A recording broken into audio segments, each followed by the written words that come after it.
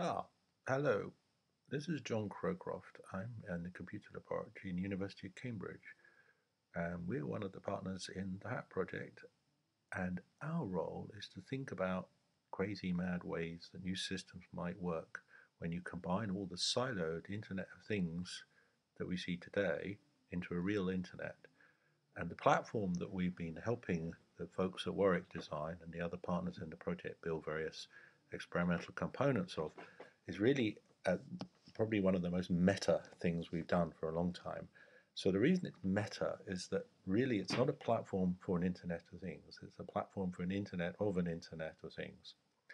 The platform really enables people to think and create and market systems of systems.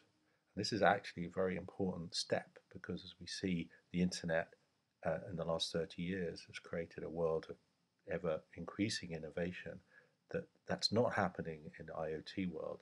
So what we really want to do is to fix that problem. So you're going to hear a lot about the progress we made in the various pieces of technology. I'm just going to tell you uh, a bit about ways that you might think about uh, the way the technology might uh, lead to systems uh, innovation. So right now, uh, you may not notice, but I actually have hearing aids. I'll take one out and you can see it.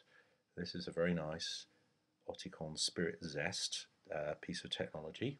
It's a digital hearing aid. It costs about £3,000 in America. It's completely free if you need hearing aids in the UK, uh, if you're on the NHS, which is jolly good. The cool thing about it, why is it an Internet of Things enabled device? Well, in fact, I can buy a gadget. I have one somewhere lying around here, somewhere over here, um, which can uh, stream audio to these. So actually, they're wireless headphones, but better, they've got microphones in, and I can stream audio from them to the world. So I could actually record what's going on around me. Now, for me, that's not a very sensible thing to do. But imagine I was a, a bit older and I didn't have a good memory. I could keep this as a, a system for keeping track of what I'd said to whom, uh, when, and where. And that might be very handy for recall and practicing recall. So it would be a very nice health gadget. I could also build apps that warned me about things. So, for example, that somebody's at the front door, and even with these, I can't actually hear the doorbell go, but I could easily build an app. There you go, ding, um, which actually warns me that somebody's ringing the front doorbell directly to my hearing aid. That would be a very simple thing to do as long as we had an open system that allowed us to connect such things and figure out how to make money out of such a useful thing, for example. So you can think you can think of all kinds of ways you can connect stuff together.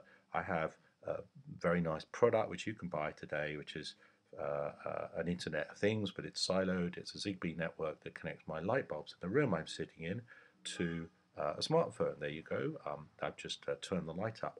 But I can set up an app that when email arrives for me, if the email's from somebody I like and I want to sit down and chat to them, uh, it will go into a nice color. But if it's somebody uh, that is work and it's very stressful, it might go into a bright color. On the other hand, maybe I want to de-stress, and I think maybe going to uh, a more calm color might be a good way of doing things. That's an easy thing to do if you have a completely open API between things. But then, how would you make money out of all these things combined? That's the real trick. How would anyone be incented to create a system that, that puts these all together? And I think uh, basically the idea is that we create a world in which there are no barriers to thinking of new things and then that making the very small step to gluing them together in a way that fits the market. And that's a crucial thing uh, that Irene and other people have been working on uh, is how you create that market.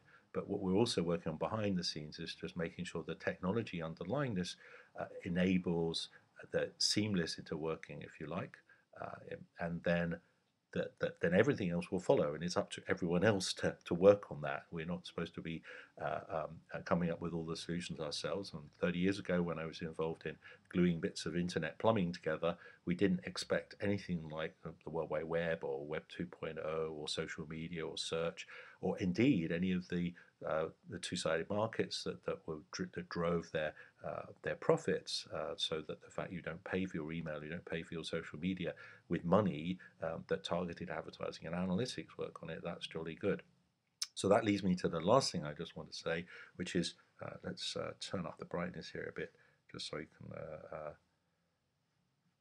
See what's happening. Okay, so the last thing I want to talk about is that, of course, one of the big problems in the world today is privacy, and it's absolutely crucial that when we want to enable a seamless Internet of Things, uh, that uh, in the example I gave earlier, the email arrives from work from Irene saying, you must work on this document, we need it by tomorrow, and I have a big bright light that everyone up and down the street doesn't know exactly what I'm doing in the house.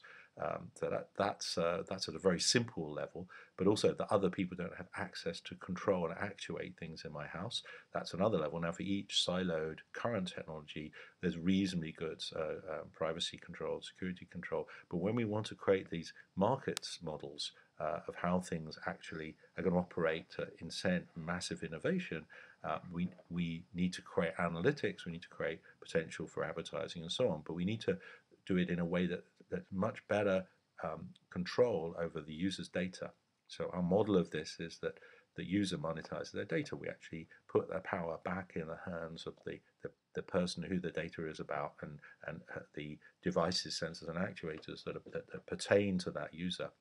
And so the user is not the product, uh, they're part of an ecosystem, and that, that ecosystem uh, potentially has even more uh, ways that innovative applications can be created uh, and deployed uh, and uh, turn into money-making enterprises.